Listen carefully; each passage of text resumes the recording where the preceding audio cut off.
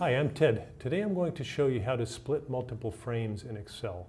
This is something that you want to be able to do when you have a large spreadsheet that doesn't all show up on the page at the same time. So I have such a spreadsheet here. It happens to be the, the roster of the entire roster of the Baseball Hall of Fame, including all kinds of information about all the players. And if we want to have a couple of different frames so that we can see multiple portions at once, we go to the top of the right hand scroll bar and at the top there's this little symbol and, and, your cursor changes to two parallel lines like this. Click on that and drag down and we could just show the, um, the header row or we could show the header and a bunch of different rows and then you can move around within the top frame or the bottom frame.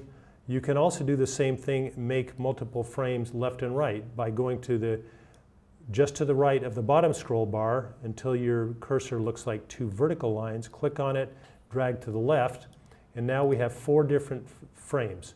And the, depending on where, you're, where you've last selected determines which of the frames move left, down, up, and right.